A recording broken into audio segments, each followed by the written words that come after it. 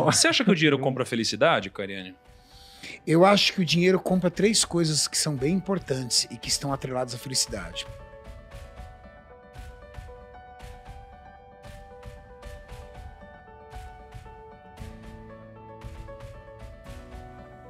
É um milhão. Você acha que o dinheiro compra felicidade, Cariane? Eu acho que o dinheiro compra três coisas que são bem importantes e que estão atreladas à felicidade. Primeiro, segurança. Segurança te traz paz e paz é um amigo, um grande amigo da felicidade, não é verdade? Quer tirar tua felicidade, tira tua paz. É. Verdade? Dinheiro compra, dinheiro realiza sonhos. Quem é um grande amigo também da felicidade? Realiza sonhos, não é verdade? Dinheiro compra pessoa, compra a oportunidade de você ajudar as pessoas que você gosta. Quem tem um coração bom quer- e, e- e ajuda pessoas que ela ama, pô, isso também traz felicidade. Então, eu acho que o dinheiro, ele traz coisas que são muito pa- parentes próximos da felicidade. Agora, a felicidade é um estado de espírito, né? Então, eu acho que a palavra felicidade para cada um é tão relativo. Por exemplo, eu sou feliz por ter uma vida regrada.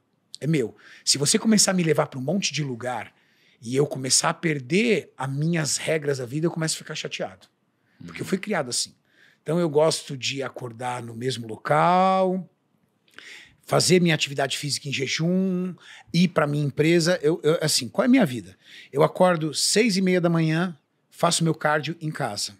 Termino de fazer meu cardio, eu tomo meu café da manhã, tomo banho, vou para a fábrica. Chego na fábrica oito e meia da manhã, mais ou menos, saio da fábrica três e meia. Vou para o meu centro de gravações.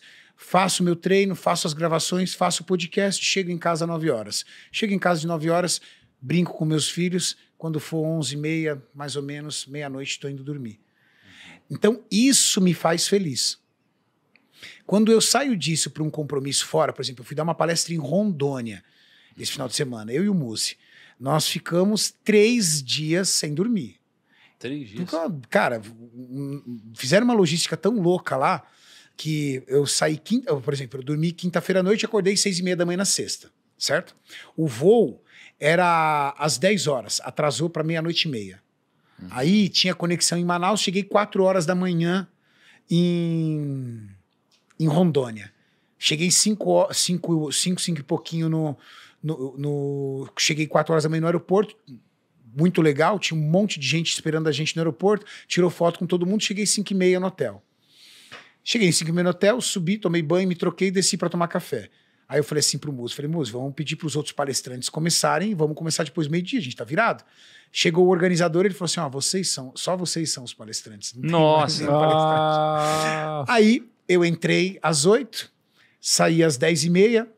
Entrei, não, entrei às 9, começou às 9, saí às 10 e meia, fui para um podcast, saí à meio-dia e meia, o Musa entrou lá, ficamos virados. Em resumo, o nosso voo de volta era de sábado para domingo às 3 horas da manhã.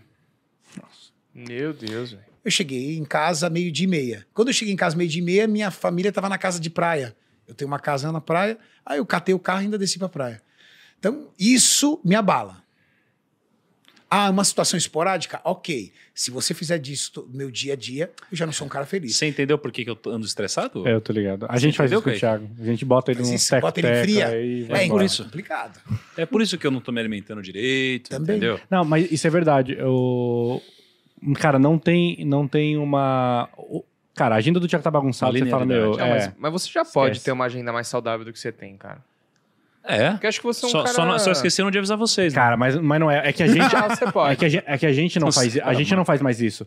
Mas prometem muita coisa e Ah, não, né? Que Thiago isso, né? Negro. Vocês não fazem O mais Thiago- isso, né? A gente não faz. Mas cada segundo vem lá cobrar. Pô, e agora? É o rumo bilhão? Agora é o podcast? Ah, agora não sei o que lá? mas, Agora é não sei o que isso, lá? mas isso é do Cara, lado. ah. Eu, Não, mas me eu- explica eu nunca isso. mais te mandei pra Manaus. Kaique, eu não vou acreditar no que você tá falando agora porque não faz sentido. Você sabe disso.